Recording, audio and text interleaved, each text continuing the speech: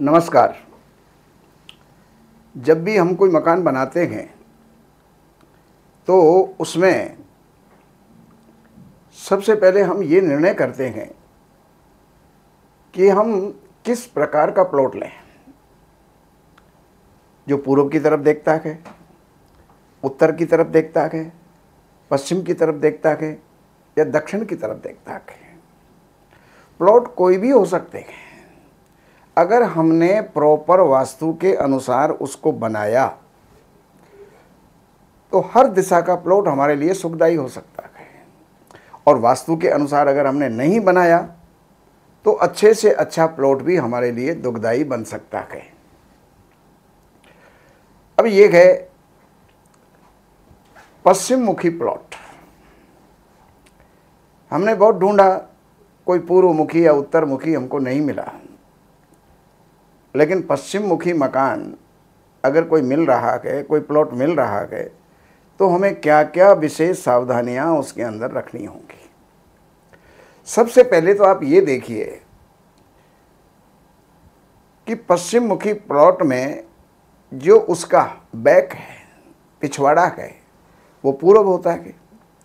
पूरब में हम कोई खिड़की, कोई रोशनदान निकाल सकते हैं या नहीं निकाल सकते अगर नहीं निकाल सकते तो हमारे लिए वो उतना अनुकूल नहीं रहेगा। वो प्रतिकूल भी हो सकता है, क्योंकि पूर्व से किसी भी प्रकार से सूर्य की किरण मकान में आना ज़रूरी होता है। अन्यथा वो रोग कारक और पितृदोष कारक बन जाता है। अब आप पश्चिम मुखी मकान लेंगे तो सबसे पहली बात ये है कि उसके अंदर मकान का जो फर्श है, उसका स्लोब है, ढलान है, वो पश्चिम की तरफ़ जाएगा। और पश्चिम की तरफ़ जब जाएगा तो होगा क्या? आप हमेशा आर्थिक परेशानी में रहेंगे। केवल पश्चिम का ढलान मात्र होना। फर्श का भी, छत का भी। तो ढलान आपका पश्चिम में ना हो, या तो बिल्कुल इक्वल हो, लेवल हो, या फिर उसका ढलान पूर्व की तरफ़ हो, उत्तर की तरफ़ हो तो मकान सुखदायी हो सकता है। आगे के लिए, अब सबसे पहले मकान बनाते समय हम गेट का विचार करते हैं। और गेट का विचार करते हैं तो इसमें हम आठ जगह पर हम दरवाजे बना सकते हैं। बल्कि भाग तो नौ होते हैं। तो नौ जगह हम दरवाजे बना सकते हैं, लेकिन उसके अंदर कौन सा दरवाज़ा हमारे लिए सुखदाई है और कौन सा दरवाज़ा हमारे लिए दुखदाई है? तो उसमें सबसे पहले आपको ये निर्णय करना चाहिए कि दरवाज़ा हम कहाँ बनाएँ। अब जब पश्चिम मुखी मकान है तो उसके दो कोने होंगे। एक कोना होगा वायव्य कोण, एक होगा नैऋत्य कोण, जिसको साउथ वेस्ट कहा जाता है या नॉर्थ वेस्ट कहा जाता है। अगर आपने प्रॉपर साउथ वेस्ट के अंदर आपने अगर दरवाज़ा निकाल लिया तो समझिए कि दुखों का आवाहन आपने कर लिया है, परेशानियों का आवाहन आपने कर लिया है। कोर्ट केस, झगड़े, टंटे, बीमारियाँ, आकस्मिक दुर्घटनाएँ, इनको जो है आपने आवाहन कर लिया है। इसलिए वहाँ पर जो है बिल्कुल साउथ वेस्ट के अंदर दो पद आपको छोड़ देने चाहिए। और जहाँ तक हो सके तीसरा पद भी आपको छोड़ देना चाहिए।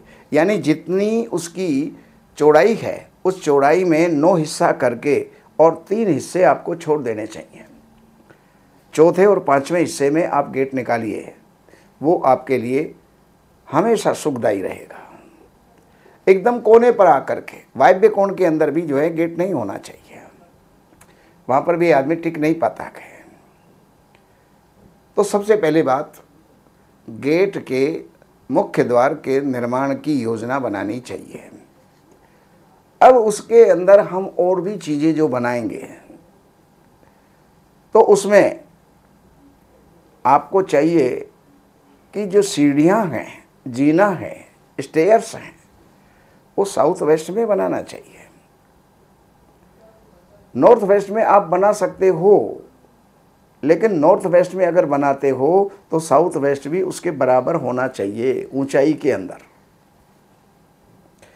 क्योंकि जहाँ पर हमने जीना बनाया, सीढ़ियाँ बनाई, वो ऐसा ऊपर जाकर के ममटी बनने के कारण से ऊँचा हो जाता है। तो इसमें भी आपको ये ख्याल रखना होगा।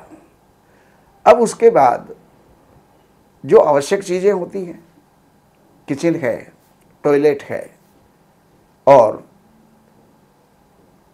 लिफ्ट है, टैंक है, ये मुख्य चीज़ें होती हैं। तो उसमें कभी भी आप, अगर साउथ वेस्ट के अंदर आपने अगर किचन बना दी तो भी ठीक नहीं है।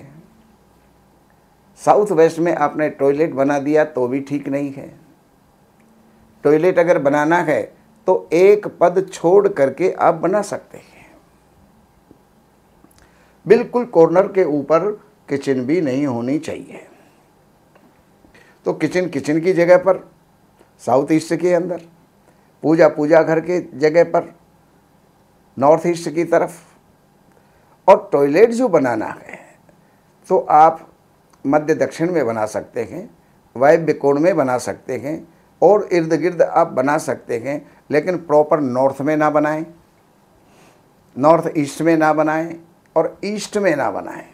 बाकी कोनों के ऊपर आप कहीं भी ना बनाएँ तो वो ज़्यादा बेटर है, वो जो है आपके लिए ज़्यादा शुभ है।